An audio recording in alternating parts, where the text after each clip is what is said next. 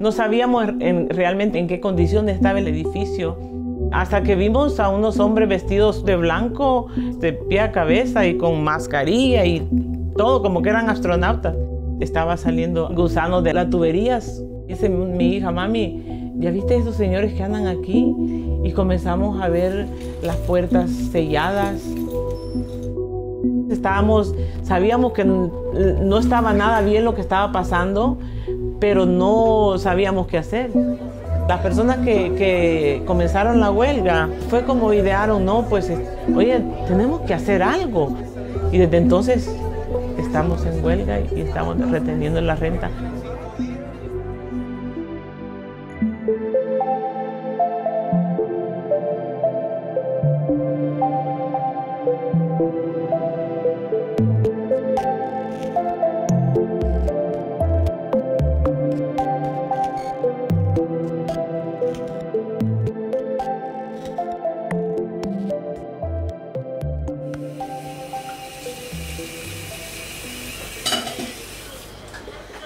Tenemos tres hijos.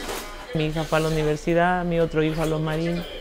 Medardo es el único que tenemos con nosotros porque es de necesidades especiales. En este apartamento mis hijos han crecido. Le entramos pagando 400, parece 99.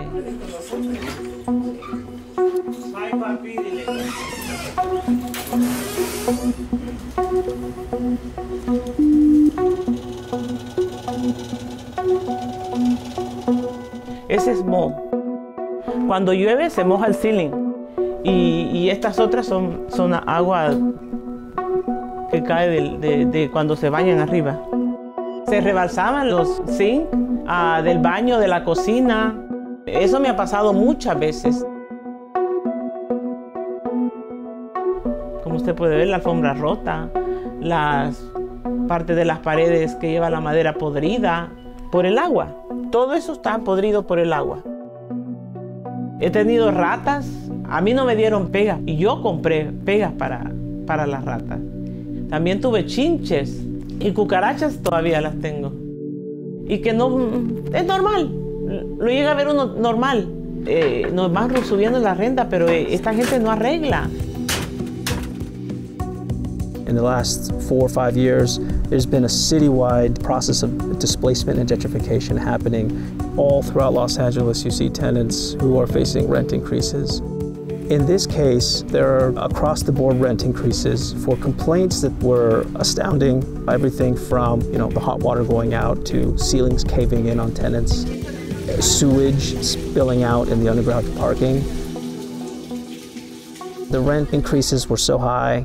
Effectively, these 200 families would be- literally be uprooting themselves, their jobs, the children would leave their schools because they could not afford the rents in Los Angeles.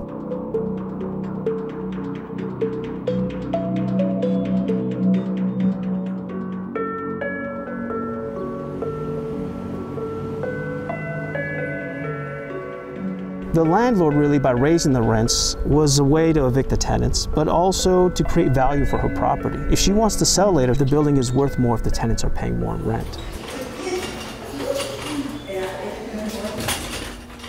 I've lived in Los Angeles for 72 years. I am now 82 years old. I don't know what they plan on doing here. The elevator was down last year for 50 straight days. That's five zero days. I was in a wheelchair at that time. My wife would walk that wheelchair down the steps and I would come down holding onto the rail afterwards. I slipped on one of the steps there and my knee went in between the railings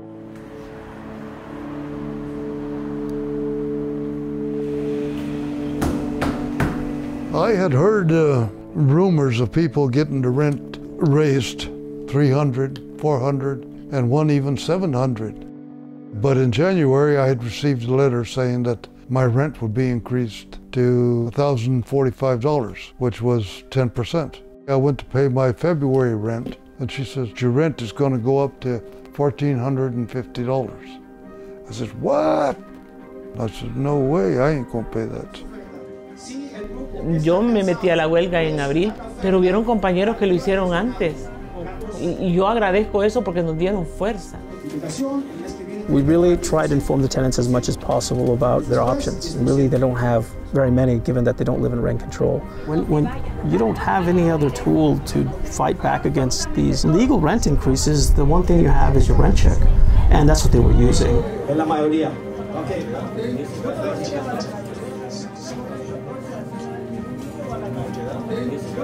Lisa Ehrlich is the lawyer and also the part owner of that building. She had 14 lawyers to take on these cases.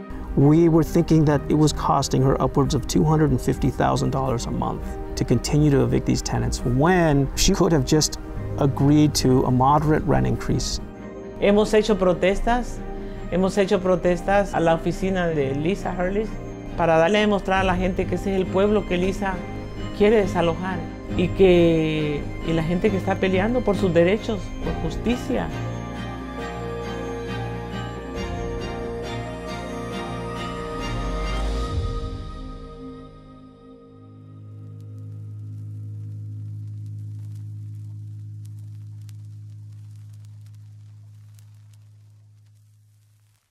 We were in court four days.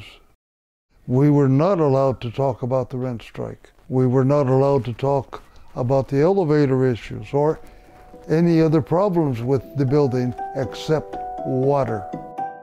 It's kind of crazy that he lost his case. That elevator that's malfunctioning doesn't fall under habitability. That falls under Americans for Disability Act. So you can't use that in a defense of a rent strike. I'm half expecting the sheriff to be here any day. I don't know what it's like to be evicted. Social Security is all I got, you know. I do not have a plan B. I don't know what's going to happen tomorrow. I don't know.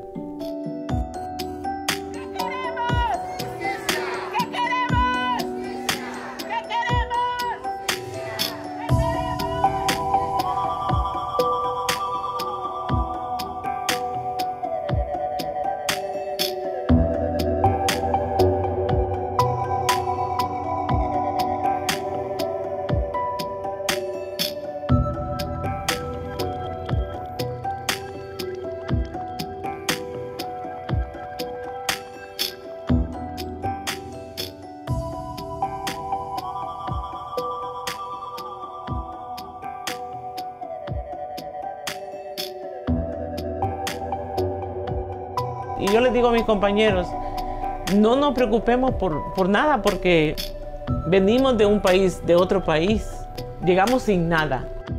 Yo viví la guerra del Salvador y, y nos sacaron de mi casa solo con la ropa que tenía. Entonces, si perdí todo aquello, ¿qué me importa hoy? Yo voy a luchar y seguir adelante, porque sé que tengo derechos. Tenemos pruebas también.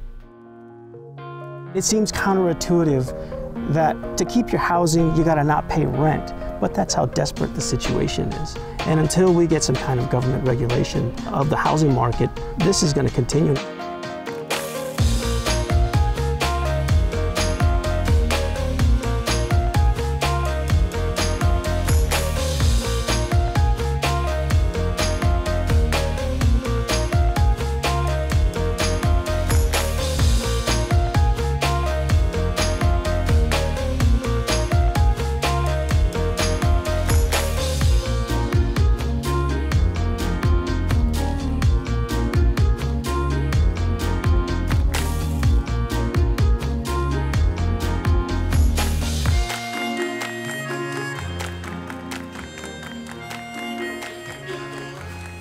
Aquí hay sentimientos, aquí hay memorias, aquí hay ha habido felicidad y quizás también tristeza, pero hemos vivido una vida bien bonita.